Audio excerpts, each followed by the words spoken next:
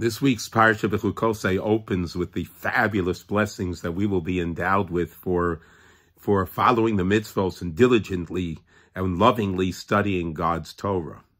Among the blessings, Bachaltem lachmechem lasova. You will eat your bread to the point of satisfaction.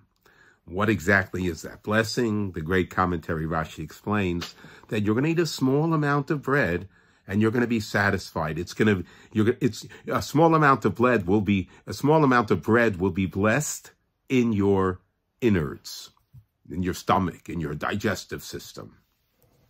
Meaning you'll eat a small amount and your hunger will be satisfied and all your nutritional and health needs will be taken care of.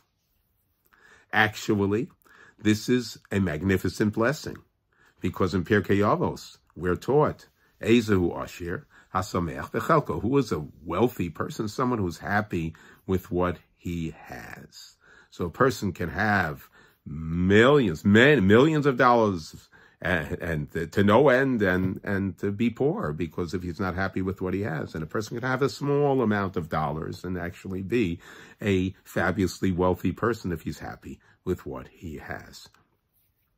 Rabbi Moshe Kormornik quotes Rabbi Noach Weinberg, who asked his students, would you sell your eyes for $10 million? And of course, the response was no, no, no.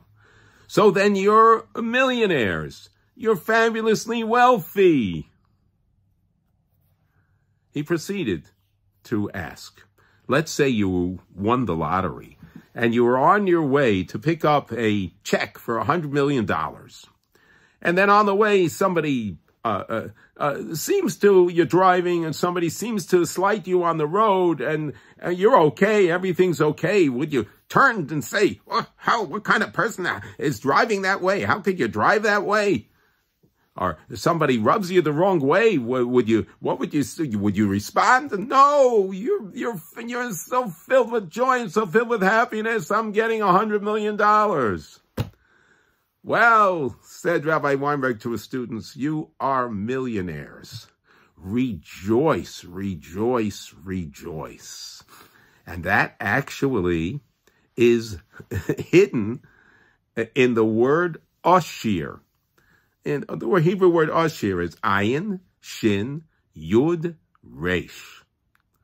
And looking at it, the ayin in the word Ashir represents eyes, einayim.